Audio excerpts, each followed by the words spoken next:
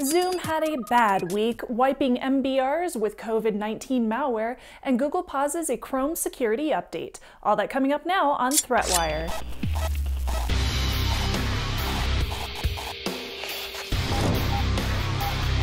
Greetings! I am Shannon Morse, and this is ThreatWire for April 7th, 2020. This is your summary of the threats to our security, privacy, and internet freedom.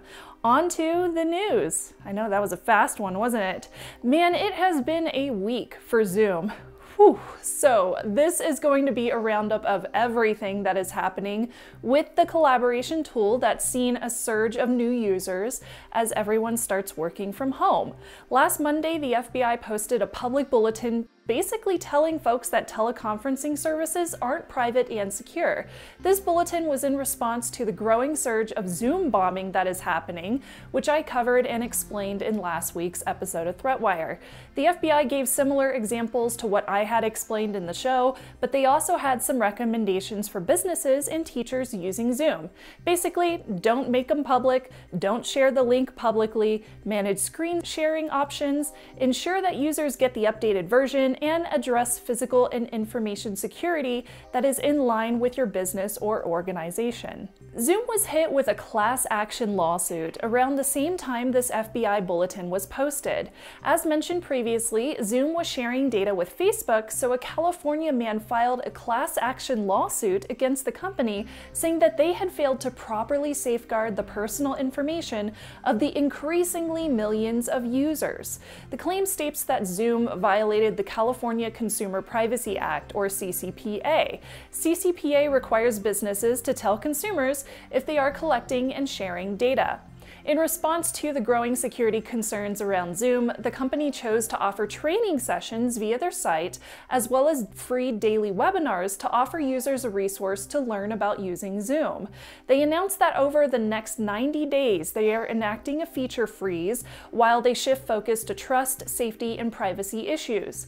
Now, Zoom also stated that they would be doing a review with third parties, creating a transparency report, enhancing the bug bounty program that they currently have in place engaging in penetration tests to address issues, and the founder and CEO would be hosting weekly webinars to provide updates. Now, that feature freeze is good timing since several security issues started popping up last week as well. First, the app appeared to be leaking email addresses, photos, and allowing strangers to try to video call users due to an issue in the Zoom company directory setting. It uses email addresses of the same domain to group people together in into a directory. Now this appears to affect users who sign up with non-standard email providers. So if you signed up using Gmail or Yahoo, you would not be affected. Unfortunately though, Zoom chooses to blacklist new domains if they are alerted to this problem. It does not have functionality that would allow you or your domain to opt into this sharing of data, which could save them some work and be more security conscious. Zoom's group chatting feature converts URLs in the chat into hyperlinks for folks to open in a browser, but it also appears to convert Windows Networking Universal Naming Convention Paths, or UNCs, into hyperlinks as well. Now, Windows will try to connect to a UNC path even if it is a file path that is controlled by an attacker. So by default, Windows sends the user login name and credential hash whenever it makes this connection with a server message block or SMB server. Now this can also allow for the host name, the IP address, the domain name, and the username to also be leaked to that attacker. UNC Paths can also launch executables, but this will show a pop-up alert to the user who clicked on that link. Zoom released an updated app to fix this, but users can also restrict outgoing NTLM traffic to remote servers to avoid an attack like this one. Now, two more vulnerabilities were also found in the application. The first one could allow an attacker to escalate their privileges on a machine due to insecure APIs. Apparently, the Zoom app is using a deprecated Apple API that should not be used and allows for this to happen. The second one could allow an attacker to gain access to a webcam and microphone thanks to it allowing malicious code to be injected into the app. Now, both of these problems were found by a security researcher named Patrick Wardle. While they both require physical access and the user needs to be running the Mac OS client, Zoom did acknowledge both problems and they stated that they are working to fix them. And according to a researcher at SecKC, Trent Lo, several Zoom meetings are not being protected with a password, and his tool, which he dubbed ZWarDial, can find the links to these meetings. Zoom assigns meeting IDs between 9 to 11 digits long, and his tool can automate guessing random IDs to find the links to open meetings. Lo was able to scan for and find 100 meetings an hour using one instance of his tool just one instance. In response, Zoom is now blocking repeated attempts to scan for meeting IDs, and they are also enabling passwords by default.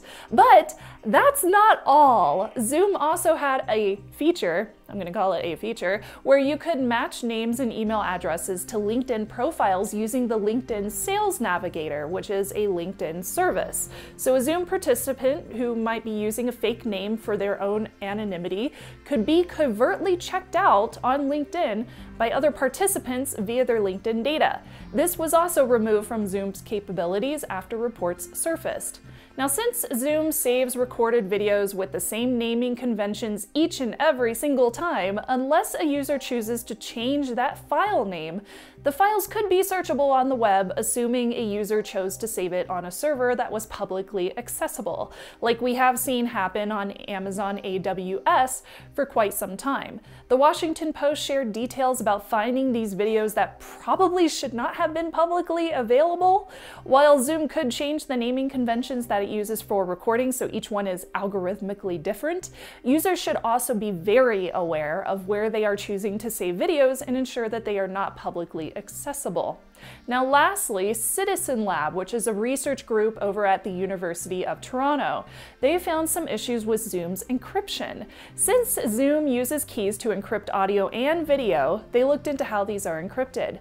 Zoom servers are mostly located in the US, with five of them located in China. Citizen Lab suggests that because of the location of these servers, Zoom or its employees could be obligated to share encryption keys with Chinese authorities if required required. Even if participants are all located in North America, sometimes the encryption keys are generated via those servers across the Pacific. Now, Zoom claims that keys are encrypted using AES-256, but Citizen Lab also found that it's actually AES-128. AES offers modes of encryption as well, including one called Electronic Codebook, or ECB. Now, this is considered the worst type of AES encryption because it leaves traces of the original data. This is also what Zoom uses. Go figure. This means that the encryption used by Zoom is not as strong as it could be.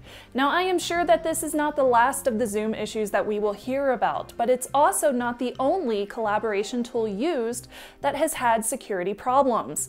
Look at Slack, for example. Zoom should continue to fix these security issues, and researchers should work collaboratively with the company to ensure that their customers are kept safe. This story was chosen by the ThreatWire Patreon patrons. The master boot record of a computer tells the PC how partitions are set up on a drive, and it loads the operating system. If it gets corrupted, the machine generally can't boot until it's fixed. For general users, you normally don't want to mess with this. Now, malware has been created themed around COVID-19 that wipes or rewrites that master boot record, or MBR for short. Now, CNET worked with InfoSec professionals to find several different malware strains that were made to wipe or rewrite the master boot record, but none of them were made for monetary gain, which is so odd. Now, the first two could rewrite the MBR sectors and seemed more advanced. One was found by MalwareHunterTeam and it goes by the name COVID-19.exe. It disables the Windows Task Manager and it forces a pop-up that will not close, disables the user access control, and it disables options to change the wallpaper. While behind the scenes, the malware is quietly rewriting the MBR, at which time it restarts the PC and the user sees a boot screen saying that the computer has been trashed. This one also adds registry files, which can give it the ability to be persistent. Another one poses as coronavirus ransomware, but the malware was actually stealing passwords while wiping the MBR. This one would rewrite the MBR and add a boot screen saying that the machine was encrypted and demanding pay via Bitcoin. It could also wipe files from the machine, but that ability did not appear to be active according to researchers. The malware was distributed via a website impersonating a cleaning utility which is called Wise Cleaner, and when downloaded, it would use a file called wshsetup.exe to extract a coronavirus ransomware and a Trojan called Kpot. Now Kpot will steal cookies and login credentials from browsers, messaging programs, FTP, VPNs, email accounts, Steam, Battle.net, etc., etc. If any cryptocurrency is on the machine, it will also attempt to steal that as well. Now, the ransomware encrypts and changes the names of files with specific extensions, then it demands about $50 in Bitcoin. Researchers suspect that the Bitcoin ransomware is used to actually distract users from the Kpot info stealer, so they recommend using a different machine to reset any passwords that may have been compromised. Now the last two are data wiping malwares, with one being discovered as early as February. The second wiper was discovered last week. While both of these appear to be full of errors and not as efficient as the rewriting malware, they did succeed. Since each of these different wipers appears to actually work, it is still crucial to practice good security hygiene and not download anything odd from a browser.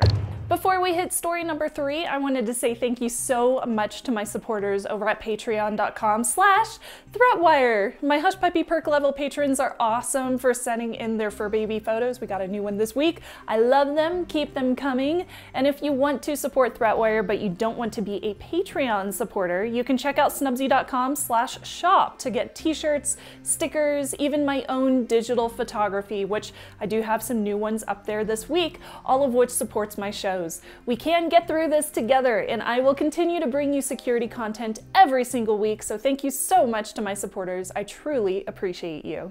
Google has a feature called Same Site Cookies that was enabled in Chrome 80 as a beta test for some users, and it would be available later this year for all users of Chrome. Now, this would prevent third party domains from creating cookies when a user was not actually on their website, so this could actually help prevent those domains from tracking a user as they surf the web. Of course, this does affect advertisers and analytics, but it also affects some online banks, government sites, grocers, and intranets used within companies and a lot more. Now, same site will automatically block third-party cookies unless the website owner approves them, which will protect user privacy a little bit more. If a site uses third-party cookies for logins, blocking them can break the site. We can assume that many essential services have not had time to update their websites for this new feature as they have seen an increase in users depending on online resources. So on Friday, Google announced that they would be temporarily rolling back same-site cookie changes made within Chrome in light of the pandemic to ensure that websites that offer these kind of essential services would still be able to operate without seeing issues. The Chrome team is pushing back enforcement of same-site cookie usage to the summertime tentatively. Now, before I leave, I want to say thank you so much to Craig, George, Dan, James, Ria, P. Ramers, Routing Wonk, Norbert, Cyber Ops, and Lady Ascadelia, who joined the Patreon team this week. Thank you so much to each and every one of you. You are all awesome. I really appreciate your support, especially right now.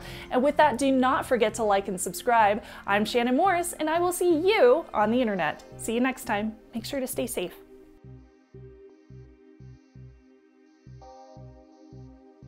You